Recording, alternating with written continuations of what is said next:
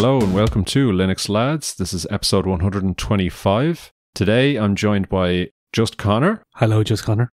I also forgot to say that my name is Shane. and this week we have a special guest. Uh, we have Artyom Zorin of Zorin OS fame. How are you? Good, good. Thanks for having me on again. Yeah, second time you've been on the podcast. Um, third time. Oh, Oh, Conor's gesturing Yeah. three at me. so, I, uh, I believe so, uh, unless, unless my memory escapes me. just in case people don't know, uh, Zorin OS is a uh, an Irish based distro. So uh, you guys run it from Dublin City, isn't that right? Yeah, yeah. Always have been. So that's great, and we're celebrating 15 years, I believe. Is that right? Yeah, that's right. So, 15 years since the release of Zorin OS 1.0. Obviously, development work has been happening for a little bit longer than that, but that's been like the first time people have really known about us. Yeah, that's great. Congratulations on the on the anniversary. And uh, I'm just going to launch straight into some of the questions. Conor, I'll let you go first because you came up with most of these questions.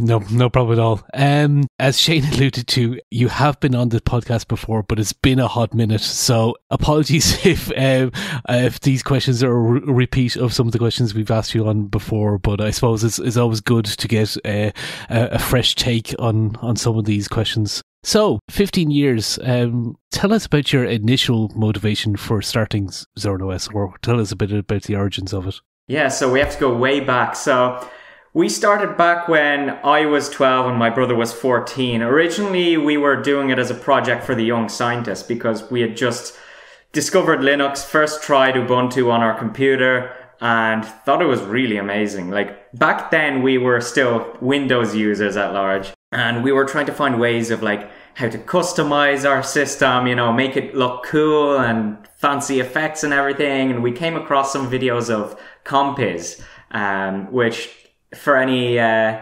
veterans out here, you'd know about of the fancy effects that it brought to the Linux. the the, wob- the wobbly windows and the fact that you know the the flame when you when you close the window and yeah yeah, it could be a bit over the top OTT at times, but uh, we were children, so we thought it's cool.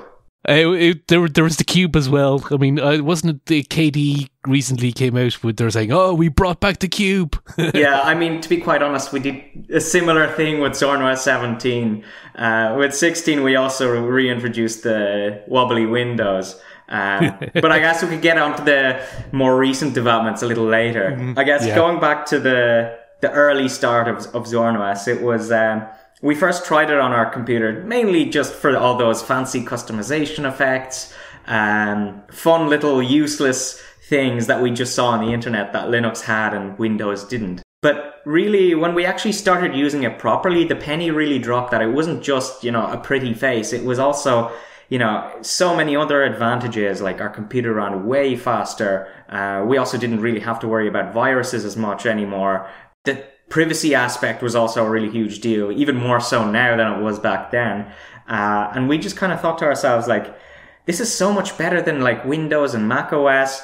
Why aren't more people using it? Mm. we first showed it to our dad, who wasn't like a super technical computer user. He was a translator, so um, he would mainly use like the web browser, Microsoft Office, those kinds of things, uh, like a normal computer user would. Even with Ubuntu, which was generally considered the most user-friendly distro at the time, he ran into some issues, even just from the very beginning. The fact that the interface was so different to what he used before. The fact that he couldn't use his muscle memory um, as he did with Windows, like that was kind of a big roadblock to to him. And we kind of thought that maybe that would be one of the major roadblocks that's stopping, you know, the general public from being able to use Linux on a large scale. So we thought to ourselves, let's try and make a Linux distro that is centered around people who are just normal computer users and designed in a way that they don't have to learn anything new to get started while still all being able to take advantage of the advantages that Linux has um, that I mentioned just there. So it was a it was a long journey after that. Uh, we actually didn't know how to program back then, uh, so we had to learn along the way. And just like with every new release, we found ways to make it even more unique and more user friendly, developing our own apps, um, extending the desktop. and just building a cohesive user experience that is really tailored around just the general public. Yeah, needless to say, you're you're preaching to the converted when you're talking about the benefits of Linux. Of course. I mean, it it's never going to be an en masse adaptation of Linux as an alternative. Unfortunately, I don't f- see that way. But hopefully, uh, at least some people, given the fact that you're in this closed ecosystem, you're you're on you're under such uh, influence and such control from such a large entity such as Microsoft. So whatever they say, you kind of have to put up with, and just like reaching out to people saying there is an alternative. Mm-hmm. you, if if you're familiar with the Windows paradigm of a start menu and like your taskbar at the bottom, something like Zorin OS is such a viable alternative. Speaking of uh, just something Conor touched on there, uh, like a big company essentially dictating terms to you, um, that brings us kind of neatly onto our next question, Artyom. Um, the funding model for Zorin OS, like how does that work for for you guys? Do do you work on it full time? Is it is it sustainable into the future? Like, there's a lot of talk about this in the Linux podcast world lately. So I'm curious to hear your thoughts on that. Yeah, so from the very early stages of the project, we knew that if this is going to be a long term thing that we're really serious about, we know that we have to, you know, be able to put food on the table so that we can actually focus on uh, the project full time. And it's taken us a number of years to get to the level where we could do it as a full time job. And around like six, seven years ago, we were able to fully convert to that. So, and that's entirely thanks to our community those who supported us by buying our Pro Edition, which is quite an unusual thing in the Linux space. And I am aware that, you know, uh, having paid for versions of like an open source product in some cases can be a bit of a taboo, but it's something that we've been very decisive about. Like, we understand that, you know, a lot of users, they do have the, the expectation and only the means to be able to use a free operating system free software. Free is in free beer, not freedom, um, but also freedom, of course. and we do want to make sure that you know Zorin OS is accessible to everyone. So we always will have a free edition that's comparable to you know other Linux distros like uh, Ubuntu or Mint or Fedora in features. But if we wanted to make it so that the development of a desktop operating system that's based on Linux is sustainable, we knew that we had to be able to generate revenue and maybe even expand the team in, over the long term. And the only way that we could do that without, you know, sticking in advertisements or siphoning off data, doing ulterior things like that, we wanted to provide the option of having, you know, a paid for version with extra features and extra software uh, for power users. Uh, and just individuals who are you know really passionate about what we're doing and want to contribute and get something back in return. Um, early on in the the development of Zorin OS like we did have only just the free edition of Zorin OS and just like a donation button but when we tried out you know having the the paid for version back then it was called the ultimate edition now it's pro we found that not only did we, um, you know, get more revenue that we'd be able to, you know, invest in having faster servers to download off of, uh, but people who purchased that paid for version were really happy that, um, you know, they had that extra functionality and that they were supporting the, the project. I guess it's more of like a, a little extra benefit to, to supporting the project in that, in this way. I, I suppose it's an extra motivation for yourselves to realize, yes, there are people out there that that support our work. They want us to continue doing what we're doing. It's kind of a vote of confidence in a way. Mm-hmm. I'd imagine you would probably get approached by corporate people, corporate contracts, or, or things like that. So, um, without getting too much into too much detail, if you want to give rough portions or rough figures or anything like that, how much of your funding is supported by the pro or donation model versus any corporate contracts that you may take, or is is there a large swing to one? So the vast majority of revenue that we get is actually just from individual users, mostly through the pro edition, but also uh, a small amount in donations. We actually don't currently have any like official um, contracts with businesses or governments, but that's actually something that we want to do with our upcoming product, uh, Grid. So, um, I guess to make it more, uh, you know, easy to understand, I'll just go back to the beginning of that specific story, which was, I think it was back in 2016. There was a city in Italy, uh, Vicenza. It's just a couple kilometers west of Venice. Um, they actually emailed us saying, you know, in two weeks' time, we're going to switch over all of our municipal computers to Zorin OS. And like, we were kind of shocked because nothing like this ever happened before. Um, it just came out of the blue. And we were kind of panicking, thinking, oh, this is going to be, you know, they're going to have a lot of support requests. They're going to run into a bunch of issues. What are we going to do? Uh, funnily enough, like, they just sent us a couple of you know, basic enough technical questions on, on Facebook Messenger, very official. Uh, and away they went. They just did a, a, deployment right after that. They got the local Linux user groups to, to help with, you know, actually the logistical challenge of installing all of the uh, Zorin OS on all of their computers. But they were actually quite happy with the switchover afterwards. Now, the main criticism that they had was that once they installed Zorin OS on all the computers, if they wanted to make some sort of a change, like installing an app or changing some settings, they'd have to send someone over to each of the computers to make that change, which is not very efficient. So that gave us the idea of making a new sort of plug-in tool to Zorin OS that would allow, you know, businesses and organizations of any size to centrally administrate all of the computers running Zorin OS. So they will just install, you know, even just our standard free edition, which is in many cases sufficient for those kinds of organizations. They'll install it on all of their computers and then it works as like a client server model. So uh, a software as a service tool essentially that would connect to all of those computers enrolled in the organization and then the IT admin team could just log into that web-based console and issue those commands, you know, installing apps, changing settings, things like that.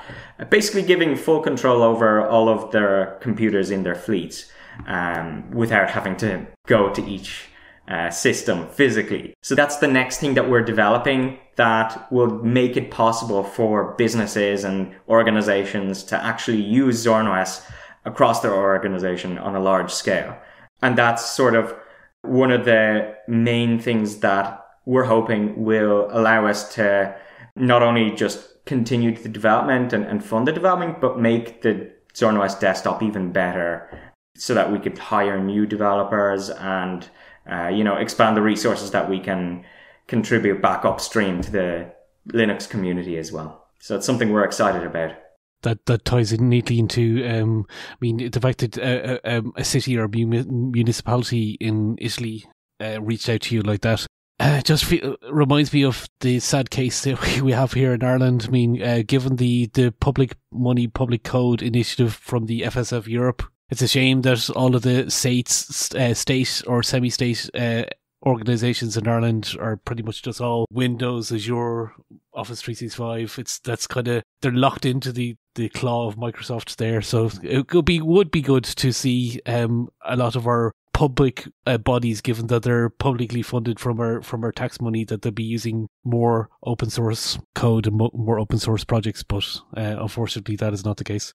Yeah, I mean it's an interesting area because like there are some you know governments as well that are more conservative that might not want to rock the boat. Maybe they have some, you know, vested interest with those companies, like say, for example, Microsoft having their European headquarters here. There's also the case of Munich a few years back where they were running Linux on their municipal computers and it seemed like it was a successful project. They've been doing it for quite a while. And then uh, Microsoft approached the, the local government saying that, you know, we're thinking of moving our uh, German headquarters here, but under the condition that maybe you'd have to switch back to Windows. Or at least that's what it seems based on what I've I've heard. Uh, and then unfortunately they made the switch back to Windows. Um, so there are those sort of political concerns, but at the same time we're hearing a lot of interested organizations and governments who they want to see alternatives and reasonable options aside from, you know, the big American tech companies. And they're in many cases frustrated with the data privacy concerns where very sensitive data could be sent to Microsoft, sent to the US outside of the EU jurisdiction, which may or may not be against the GDPR law if, if you want to be very technical and legislative about these things. And they want to see alternatives that, you know, won't hinder their productivity. They won't have to spend a lot of resources developing anything themselves in the same case that Munich did when they were originally starting off with their Linux project many, many years ago. Uh, that if there's a local European alternative to Windows and Mac OS, that they might be more open to considering that. So that's that's an interesting trend. But also even just um, businesses and non-government organizations, they see a lot of issues with using Windows, like having to buy new computers every few years, uh, since they're getting obsolete. Uh, mm-hmm. You know, whenever Windows loses support for a version, they want to you know, be able to continue using the hardware that they invested their hard earned money on and not have to, you know, divert resources away from important organizational goals that they could be trying to achieve with them. So it's just, we want to provide like a really simple and effective alternative to Windows and Mac OS that is ready for these organizations to use. And in the long term, I think that would expand the you know, scope of how many people are using Linux in general. Maybe those employees running Linux or Zorin OS in their organizations, they might see that, hey, I'm actually, you know, using this computer and it's running a lot better than the Windows that I have at home. Maybe I'll install some Linux distro now that I can see that it's ready for prime time. So that's sort of our longer term goal with this or um, just exposure to open source projects in general. I go, yeah. oh, on, on, my work computer, I have I'm running this thing called LibreOffice. Oh, that that seems to be perfectly fine. Um, oh, oh uh, I have a Windows computer at home. Oh, LibreOffice is available for that too. I might download that or or something like that. Um, yeah, it's uh, just the the whole hardware support uh, really ring, rings home for me because um, of just personally, like my my father purchased a Lenovo IdeaPad only a couple of years ago, and he's getting the messages going, "Oh, oh, oh, Windows 11 is not supported on this computer," and he's rightfully so. He's like, "I only bought this computer only a couple of years ago. Like, there, there's nothing wrong with it." And again, there's nothing wrong with it. It's happy out work uh, running Windows 10 and does everything that it needs to do. But he's been told he hasn't been, uh, he's not able to upgrade to uh, Windows 11. I don't know. It's probably the the TPM chip or something like that in, in the mm-hmm. on the mm-hmm. motherboard. That's the major thing uh, in relation to Windows 11. But uh, it's just a shame that a relatively new computer cannot be upgraded the way he would like it to be upgraded. It might uh, uh obviously it's an opportunity for me to probably put Linux on the sly on his computer. very good, very good. Just put Zorin on it and enable the the Windows like desktop layout. there exactly. you go. He may not even notice. Who knows? I did something similar for one of my parents a few years ago. She had uh, like some really terrible uh, display model laptop that she got on a sale, and uh, the fan would just go like 100% all the time when it was running Windows. So, uh, and it was very slow, very crap. And then I put uh, Linux Mint on it, and she really didn't notice any difference because she'd literally just click the start menu or the, the cinnamon equivalent of the start menu and then launch a web browser. And that's pretty much all she did on the computer anyway. So it really didn't matter that much. Yeah. Yeah and that's like a perfect success story. I mean there are a lot of um, people maybe they're technical but they might not have that much exposure to linux. And they're still uh, under the impression that you know linux is you know only really for engineers by engineers that you have to tinker a lot or recompile a kernel just to get it to work on a normal computer. And like we're far, far away from those days.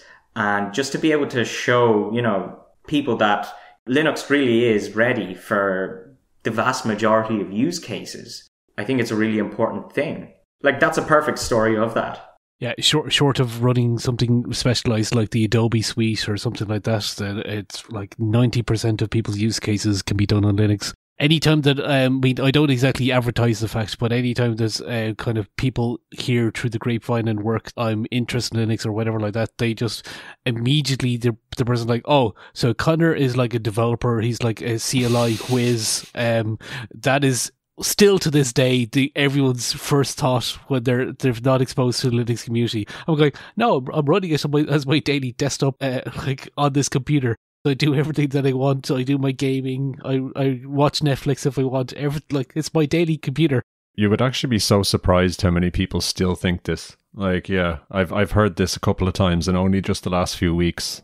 And some people who still have this idea that Linux and open source apps that you find on Linux are all they're all like by the same group of people. Like they seem to think it's the same. They just can't get it out of their head that it's a completely different model of developing software and they they they think it's like oh there's a linux company somewhere and it, it's just not true. Like, yeah i had one guy complaining about gimp and inkscape and stuff as an alternative to photoshop and illustrator and he was like oh why don't they just make it better? And all because it's mostly developed by volunteers like so yeah it's it's an uphill battle sometimes so, looking back, can you think of any challenges that you had to overcome, like technical or otherwise, throughout however many years of, of working on Zorin OS? Where do I begin? I'd say maybe just from the very beginning, like we set ourselves the challenge of, you know, making this Linux distro where we actually didn't know how to develop software. We've never done it before. We had no experience in it. So it was a it was a long gradual process even just like searching up on google how do i program in python or just buying python for dummies? That's just like one of our first steps. And on top of like just being able to learn how to to do everything how to program um i guess like back in those days the documentation about like the different apis that linux had wasn't as mature as it is now and in some cases, we'd had to, you know, go through the source code, kind of reverse engineer maybe some of the technical stacks like the desktop environment uh, to figure out how to do what other similar apps are doing uh, so that we can implement similar functionality uh, and maybe even improve upon it that's been a really it was a long and difficult experience but it was also very rewarding because we actually had something at the end of the day that people are out there using and taking advantage of and really liking it. So like there have been a bunch of other technical challenges along the way. The most recent was actually we came out with the new upgrade feature which was something that people have been you know requesting since the very beginning. So it's taken us like 14 15 years to implement it. And by the end of the project, we knew for good reason. In this case, like we had to figure out how to make it work as seamlessly as possible. So we have a number of package managers like apt, flatpak, uh, in Zorin OS, and we needed to make it so that, you know, a user can just click the upgrade to the newest version of Zorin OS button, and it will just take them there without too many, you know, uh, issues along the way. And being able to hide that complexity and make it look really simple is way more complicated than it seems on the surface. Like we ran into a bunch of issues with how do we get apt to do uh, all of those functions exactly as we needed them to do. So like upgrade in certain scenarios where you might have broken packages, for example, different repositories enabled that might interfere with some of the system packages and like kind of like renovating a house. The more you get into it, the bigger the problems get. And sometimes there are some APIs that uh, didn't do what they were supposed to do, and we'd have to like patch apt or some of the um, libraries around apt to to fix those issues. And it took a lot longer than we expected. But at the end of the day, it was one of the most probably yeah the most requested feature and like a really important thing uh, an addition to the entire user experience. So we're really happy that we got to the end of that process, but it was a slog. It was a true slog. You would think, uh, hypothetically, the fact that you're based on Ubuntu LTS, the fact that Ubuntu uh, has a facility to go from one LTS to the next LTS, would that help you in any way? So there's a lot of like idiosyncrasies about ZorinOS that make it very different from Ubuntu. And it was very helpful looking at, say, the source code behind the upgrade functionality in Ubuntu, but at the same time, like, it's kind of tied down to, you know, like say, for example, some of Ubuntu's servers, not, not necessarily like their apt repository servers, but like some uh, servers that include the instructions on how to upgrade from one version of Ubuntu to another. And that those instructions are very different when it comes to Zorin OS upgrades. So we had to implement, you know, our own way of doing that. As well as that, like when you're upgrading between Ubuntu versions, it's usually within the same edition. So if you're, you know, in Xubuntu, it upgrades just directly to the next Xubuntu or Lubuntu or just standard Ubuntu. Whereas in our case, we have like the different editions, like the core edition, education, pro edition, where, you know, it might require access to the, what we call our delivery server that has like the purchase records of what email addresses are associated with you know what purchases of Zorin OS Pro, as well as like their support code, sort of the registration number to to allow them to upgrade to the to the next version of Zorin OS Pro, or even within the same major version of Zorin OS, like in Zorin OS 17. If someone's going from the core edition and they want to upgrade to the Pro edition without having to reinstall the system, that's also another consideration. Uh, that's another thing that the upgrader has to do, and that kind of functionality you don't really see in other Linux distros uh, very often. Now, you, you raise a good point. I hadn't considered um, those scenarios, those use cases, or the fact that Ubuntu is obviously backed by a large commercial entity, um, Canonical, so that the they don't have to worry about the the revenue model being built into the operating system as you do. You have to worry about okay, this is a, a pro user, and this pro user would like to be upgraded, and uh, and so on, and mm-hmm. it's a lot more tailored towards your the individual people rather than other Linux distributions. Yeah, that's a very good point.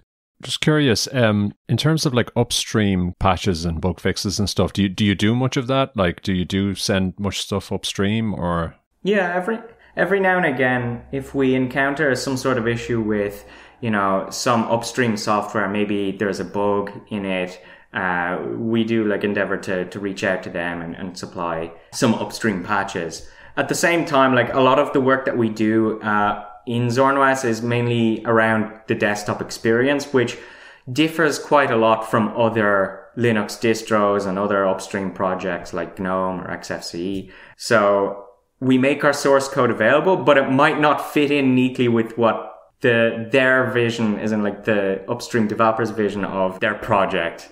It's a mix of, you know, features and, and uh, apps that we develop that are unique to Zorin OS and don't really fit into other Linux distros. Uh, but also we do um, contribute upstream both code and sometimes donations to, to projects that we think really deserve it and might not get enough uh, recognition that are really important to Zorin OS, but also important to the entire uh, Linux community. Maybe you should do um, like a Pop OS and just uh, like say fuck everything and just build it all again in Rust. it was actually between Zorin OS 6 and Zorin OS 12, we actually had our own desktop environment, which uh, I don't think a lot of people know. Back between those, within that era, it was the time when, you know, uh, the GNOME project was transitioning from GNOME 2 to GNOME 3, and a lot of the mm. functionality that, you know, would be very much required in uh, desktop experience uh, just wasn't available. So the only option that we really had was to to do something that you know took advantage of some of the the new features that they implemented, but in our own way. So we used the GNOME 3 technical technical stack. So like say for example the Nautilus file browser, GTK. Uh, but when it came to the actual desktop shell, uh, we use some other components, um, like a, a, separate dock slash panel that you wouldn't really find in, you know, GNOME or any other desktop environments. Uh, but in the long term, we saw that, you know, GNOME Shell was maturing quite a lot. Extensions were now a thing. They weren't at exactly the stage that we wanted that would have been ready for a Zorin OS experience at the time that we decided to switch back to GNOME. But uh, it's something that we could build upon. And we saw that if we were to continue developing our own desktop environment as we were in the past, just being able to keep up with the new fun- functionality, both hardware, new hardware that was on, on newer computers at the time, but also software features that users were now expecting. It would be way too much work kind of reinventing the wheel. Do you ever collaborate with any of the other distros that are based off Ubuntu LTS, so Linux Mint or Elementary OS or Pop OS? Is there any relationship you have with them? Do you ever reach out to them on, on a bug fix or anything like that? Yeah, I, I guess it's like there are a lot of projects that you know benefit from each other's work which is really one of the strengths of the linux ecosystem and, and open source development and like uh, we see you know some projects using some of our code we might include some code from other projects not necessarily on a very like uh, with a very formal collaborative sort of mm. relationship but just you know the code is there and you can use it and you can improve upon it and submit the patches. I think we've officially run out of questions. That was uh, that was really informative. Thank you, Artyom, for for coming along. Very much so. Yeah, thank you. Yeah, thanks so much for having me on. Before we wrap things up, we always uh, like to give our guests kind of you know the opportunity to plug some things that are coming up or anything you want to say, basically. Looking back at the, the past 15 years, we've been really fortunate in that um, you know, the people who've used Zorin OS or even just recommended it to a friend if they weren't using it themselves have been just so, so helpful and kind uh, to us. But also, yeah, we, we, we basically, I just wanted to thank everyone throughout all those years who, who've, you know, mentioned or uh, mentioned us or spread the word in any way. Yes, you can go to zorin.com if you want to find out more about the, the distro and download it. And uh, yeah, it's great to see uh, a project like this continue for so so long and, and be successful. And it's a nice little added bonus that it's uh, an Irish company as well. So we always uh, like to keep it on brand.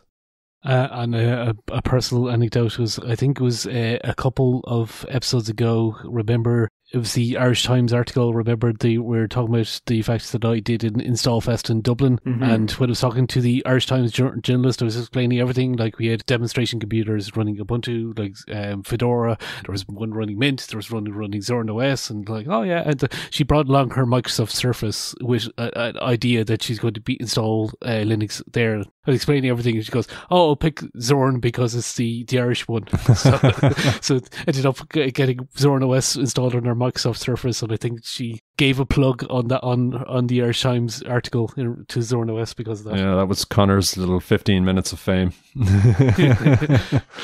uh, he got in the papers. So thank you so much for coming along, Artyom. This was really illuminating. Uh, always super interesting to get the you know behind the scenes of, of these projects and, and find out how they work and stuff. So Thank you so much. And uh, we can only recommend Zorin. I used it myself in the past. Incredibly solid distro, very well made product. Mm-hmm. Uh, as for our socials, uh, you can go to linuxlads.com forward slash contact. And on our homepage, all our individual Mastodon handles are all linked there, so I won't go through it all. We're mainly active in our Telegram group, which is linuxlads.com forward slash Telegram. You can get us on show at linuxlads.com by email. That's basically it. The rest are all on the contact page. So, thank you so much for joining us again, and uh, we will see you in approximately two weeks. Bye bye.